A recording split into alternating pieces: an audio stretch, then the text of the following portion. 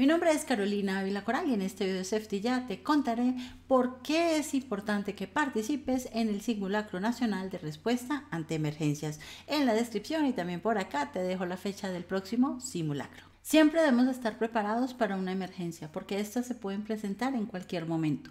Para ello hagamos un breve recorrido por algunas emergencias en el mundo que han sido consideradas de gran magnitud. En el año 2001 se presentó un atentado terrorista contra las Torres Gemelas en la ciudad de Nueva York, Estados Unidos. Un avión colapsó con una primera torre. Algunas personas identificaron el hecho y reaccionaron rápidamente. Muchas personas lograron viajar los 100 pisos que tenía estas torres y lograron salvar su vida.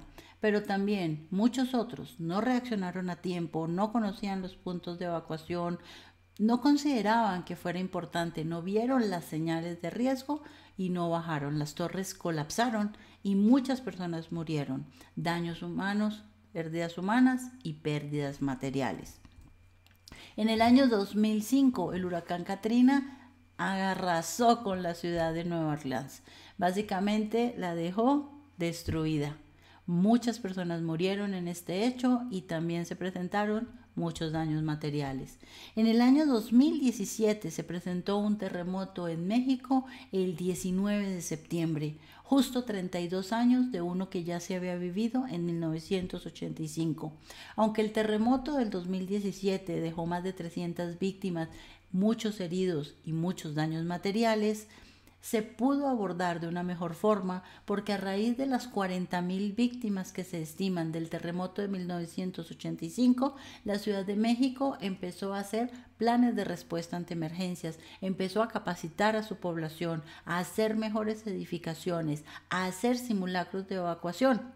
Y este evento pues tuvo varias personas que fallecieron, muchos daños materiales, pero el impacto fue mucho menor al vivido 32 años antes, demostrando que a partir de los simulacros y las acciones de prevención y manejo del riesgo, podemos disminuir los daños de estas situaciones que no podemos controlar, como es un terremoto.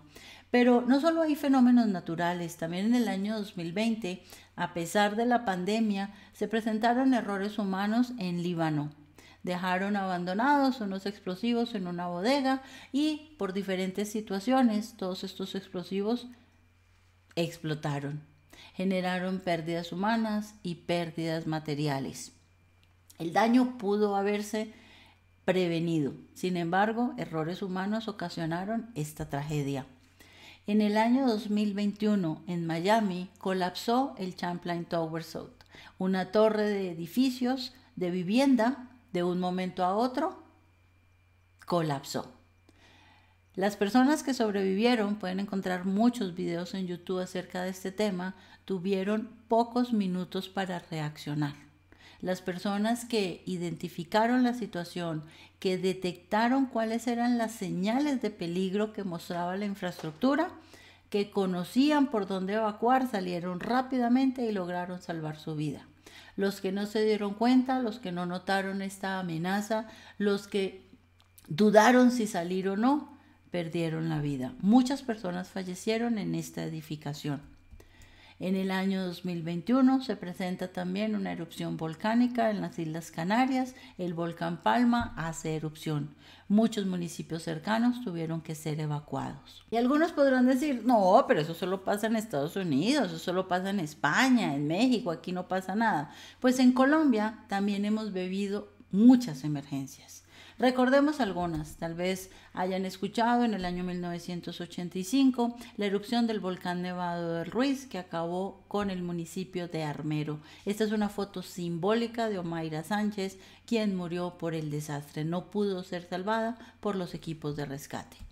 En el año 1999 se presentó un terremoto en el eje cafetero, muchas personas murieron y muchos daños materiales se presentaron.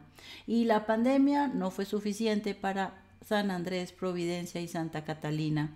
Llegó el huracán Iota, acabó prácticamente con la isla de Providencia, muchas personas tuvieron que ver cómo perdían su casa y algunos familiares a causa de este huracán. Atentados terroristas también se han vivido, en este caso mostramos un ejemplo del año 2003 en el cual un carro bomba explotó en el Club El Nogal en la ciudad de Bogotá.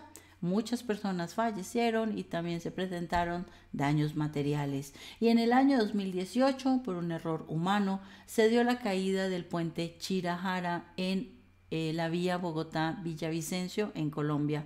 Varios trabajadores perdieron la vida en este suceso.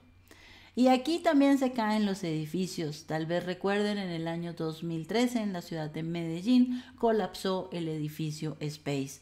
Algunas personas tuvieron muy poco tiempo para evacuar cuando colapsó la primera torre. Y entonces aquí lo que decimos es, las emergencias pueden llegar de diferentes fuentes, pueden haber atentados terroristas, pueden ser fenómenos naturales, pueden ser errores humanos. Debemos estar preparados ante cualquier emergencia y lo mejor que podemos hacer en nuestras empresas y en nuestra familia es participar del Simulacro Nacional de Respuesta a Emergencias que se lleva todos los años en Colombia en el mes de octubre. Consulta la información en la descripción del video y también por acá te dejo de la fecha y hora del próximo simulacro. Y vamos a ver entonces cuáles son estos fenómenos naturales que puede enfrentarse en los diferentes municipios colombianos de acuerdo a lo establecido por la Unidad Nacional para la Gestión de Riesgo de Desastres. Comenzamos con el sismo. Entonces, las regiones más amenazadas por sismos son la región andina y la región de la Orinoquía.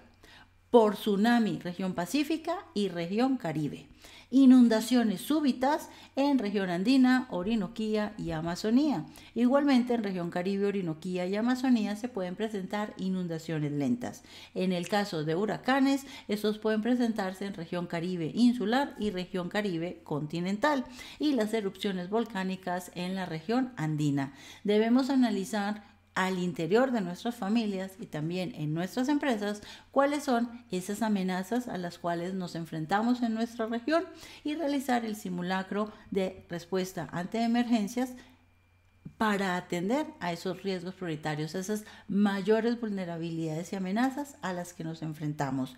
Si estás laborando, consulta en tu empresa al líder de seguridad y salud en el trabajo y a la brigada de emergencias, pues cuáles son las vulnerabilidades y amenazas detectadas y participa del simulacro nacional de respuesta ante emergencias, porque es mejor estar preparado para algo que no va a suceder a que suceda algo para lo cual no estamos preparados. En caso de que te encuentres en la ciudad de Bogotá, encontrarás información sobre fecha, hora y condiciones del simulacro en idiger.gov.co. No olvides suscribirte al canal, darle me gusta, compartir en redes sociales y seguir viendo este video que te dejo acá, que seguramente va a ser de tu interés.